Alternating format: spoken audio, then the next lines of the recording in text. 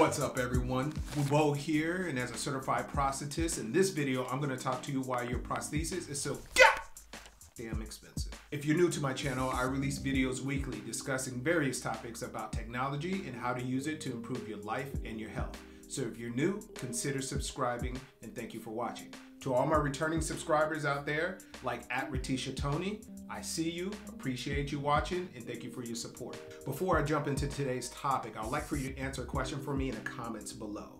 Have you ever had to pay for a prosthetic limb out of pocket? If so, how much?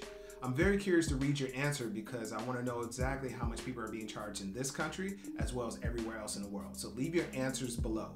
Because the name of this video is why prosthetics are so expensive, I'm going to go over that detail with you, but I'm also going to share with you how to avoid unnecessary expenses by choosing the right provider.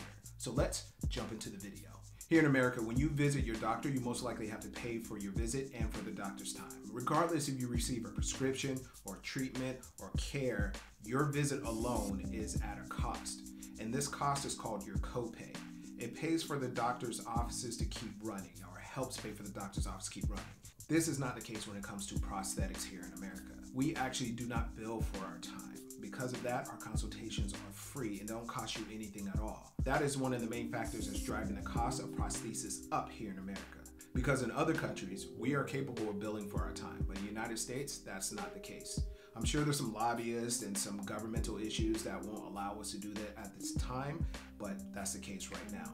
And because of that, every service that we provide you, from your initial consult to the delivery to follow ups to even adjustments, has to be lumped up into one billable care. This means that before the provider is paid, he or she is responsible for investing the money to treat you. That includes all the materials to build your limb, to take your molds, to take your castings, to attach your foot, everything like that in hopes to get reimbursed at the later back end once your product is delivered.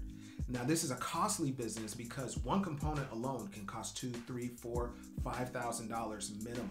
And because of that investment, it's important that the provider looks and focuses on what's best for you and in your best interest. Know that your relationship with your provider is very important, not only to you, but it's very important to us. We're invested in the lifetime care of you.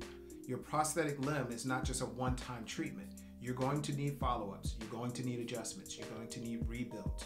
You're probably going to gain weight, you're probably going to lose weight, you're going to get older, you're going to be more active. We want to be there to make sure that we are helping you achieve your goals. Now, how do you find the right provider for you? Well, let's talk about that. But before we do, if you like the information I've shared so far, make sure you hit that like button below. Remember, every time you hit that like button below, that does support my page and allow for me to keep sharing this information to everyone that needs it. But back to the topic, how do you find the right provider? What I recommend for you to do is to get on Google and search for the providers in your area. Type in prosthetist. Try to get two or three in your area that you would like to interview because you don't want to commit to just the first one that you talk to. You want to interview each one. And like I said earlier in this video, there's no copay for our time. There's no cost for our time.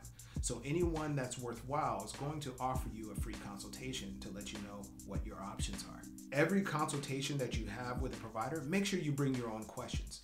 If you don't know what to ask, I've actually made a video about the 10 most common questions every amputee should ask their provider. I'll put the link above and also list it in the description below. Use that to your advantage and ask them these questions. They, their answers is going to give you a clear indication if they're invested in your best interests and in your goals. Once you have thought it over and made your decision, then you can give your prosthetist or provider a call and let them know that you're willing to work with them. Give them the green light and then they can proceed. No one should be proceeding without your green light first. If they do, that's someone you don't want to work with and that's another red flag. Hey, I thank all of you for your time and listening to me and providing you some of the information of my experiences in this field. I hope that you can use it to your advantage. If you like this video, once again, hit that like button below. But I also have a few more videos right here that I've recently posted that I think you'll like as well. I do thank all of you for your time and hope to see you guys in the future. Take care.